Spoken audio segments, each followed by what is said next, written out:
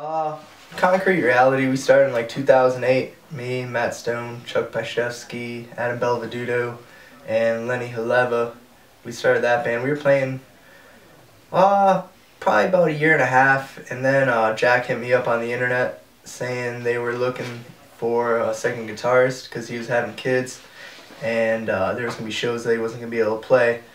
So that's why they brought me on in like 2009. So that's how I got linked up with them, I've been playing with them for the past three and a half years. And both bands have been fun. Shit. I probably first started talking to Carl 2004, 2005, and the rest of the dudes shortly after that. So they knew me pretty well before then, and then uh, I think they just saw that I could actually play an instrument, so they figured bring me on. You know what I mean? And so I was playing with them ever since. Um, I was probably 12 or 13. Um, my friend's older brother, uh, who lived in Jessup, he was way into like Earth Crisis and VOD and 25 to Life. I hated VOD, I hated 25 to Life, but I loved Earth Crisis. And so I was got into Earth Crisis. From there, um, older kids we hung out with got us into like Strength for Reason and stuff. And I remember first time I saw Strength for Reason was uh, in Jessup at Club Millennia, and I was like little, and it was awesome. And uh, I couldn't drive or nothing, but I knew shows because I knew Matt Hudak then at the time. Uh, he sings for Stick Together now, but at the time he was just Matt Hudak, and uh, he was catching rides down to Wilkes-Barre, but none of us, the rest of us, were able to get down there because that's where all the shows were. But it wasn't until a couple years after that, like I could catch a ride here and there.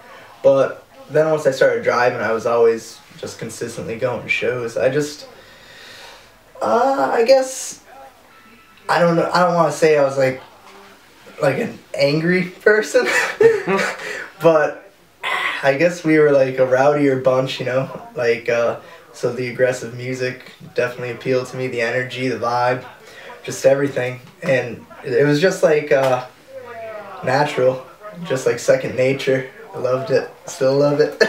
that that's sweet. I like when there's three a month because it fucking it keeps you hungry.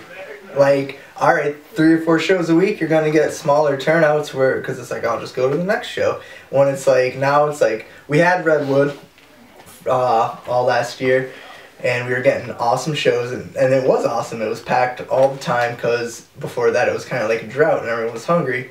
But then i think people start to get a little lax and since then there hasn't been a show in the area but they're gonna rent out a fire hall down by Nanticoke and do a couple shows and i'm sure they're gonna be good turnouts because there hasn't been fucking anything going on up here. So everyone's hungry you know what i mean? It keeps you hungry it keeps you going.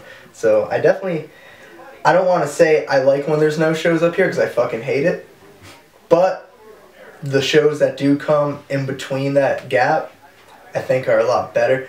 Like everyone gets along a lot more, as opposed to.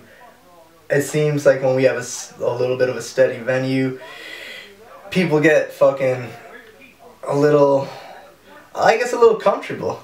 You know what I mean? Like a little comfortable, and no one they get into like little cliques, but then when everyone can't go to a show and then they go to show, oh, I haven't seen you in a while, oh, you've been yada yada, everyone's fucking friends then. But when there's shows all the time, everyone kind of, there's, everyone kind of separates because it's like high school, you go there every fucking day and there's little cliques, you know? Backst- like, people hate on Backstage, that was in Kingston, but that was cool, like, that dude was cool, he's kind of like wacky, but like, uh, it was cool. You could just like I done it. I booked shows there, and it would just be like, okay, here's how much the split's gonna be, and you could book fucking whatever you want to book. And I always thought that was cool. People hated on that guy because I don't know. Everyone, some people had their fucking nose in the air, but at the same time, those people had to go to him because he had a fucking stage and a sound system. So that was sweet. Redwood Redwood was real sweet. I honestly, I mean, sound sucks in fire halls and stuff, but it's more raw. It shows dedication, like dedication. You know what I mean? Like at the Warrior Run Fire Hall, they built like a little stage and stuff. Matt ran and all them dudes, and like uh, fucking people in Nanticoke were doing uh, the Koi Club. um, the Italian fucking Citizens Club or whatever. Just all those like random VFWs. There's like a tight show at the Italian club, I think it was, or it's a Polish club, American Citizens Club.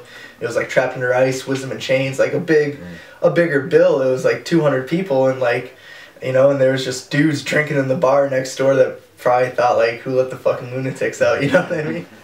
I can't imagine not having it. It's it just never crossed my like sometimes I'll think I'll be like what I what what was I into before I was like into hardcore? And like I think I just got into it so long ago that it's fucking it's just in me you know what I mean? Just part of who I am.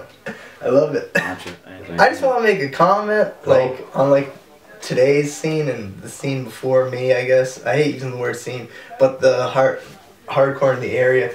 Before me there was like uh there was a, I, there was always like a rift between like uh, it seemed like Wilkes it was like Wilkes-Barre hardcore, and then the, the surrounding areas were all friends with each other, which was always fucking weird.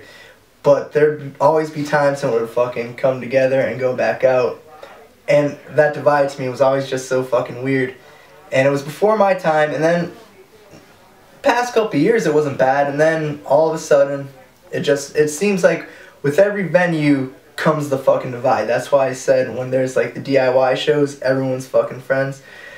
And I don't know. I just think that shit's fucking whack. There shouldn't be any divide. No one should think they're better than anyone, and everyone should be fucking welcome. That's all I have to fucking say. I don't know. Peace and love.